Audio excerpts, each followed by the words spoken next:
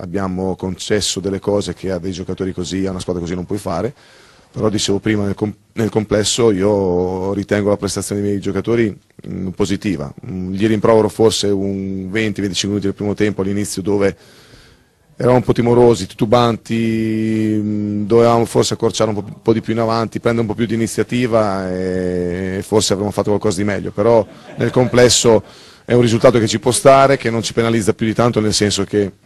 dopo la buona prestazione di domenica eh, venire qua a giocare in questa maniera poi sapevamo che non era facile, però mh, ripeto, non rimprovero niente ai ragazzi, faccio i complimenti al Teramo perché secondo me la squadra è, è la struttura che merita di vincere questo campionato per eh, lo stadio, per la tifoseria, per la società che ha e per il mister, quindi direi più, più che meritato se questo campionato finisce al Teramo. C'è da sottolineare il grande, il grande, stato di tensione che,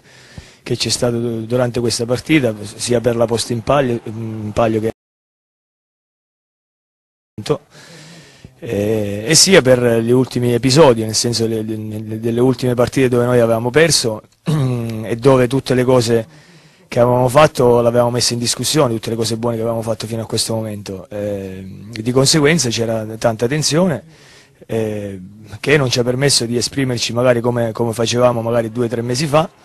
È un periodo dove al primo soffio di vento noi prendiamo gol o, o ci mettiamo in difficoltà da soli. Eh,